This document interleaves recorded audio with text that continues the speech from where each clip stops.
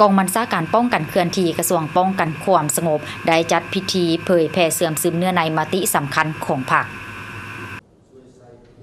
ในวันที่3สิงหาปี2021นี้กองบัญชาการปองกันเคลื่อนที่กระทรวงปองกันความสงบ จัดพิธีเผยแพร่ซึมบรรดาเนื้อในเอกสาร มาติสำคัญของผักสิน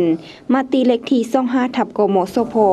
บาด้วยการเพิ่มทวีการนำพาของผักต่อเวียงงานวัฒนธรรมในระยะใหม่ มาติเล็กที่206ทับโกโมสพว่าด้วยการยกสูงคุณภาพเวียงงานการเมืองแนวคิดในระยะใหม่ และเอกสารปาฐกถาวันสร้างตังผักคอมมิวนิจีนครบรอบหอยปี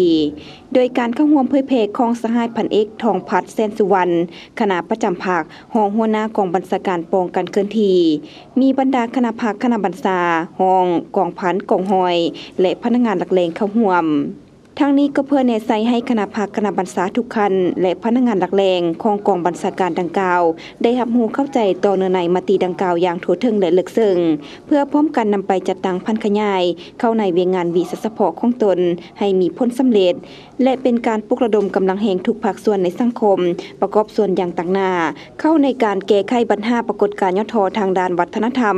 และเป็นเจ้าการปกปักรักษาเสริมขยายมูลเสือวัฒนธรรมอันดีงามของศาสตร์ให้นำมืออุดมหังมี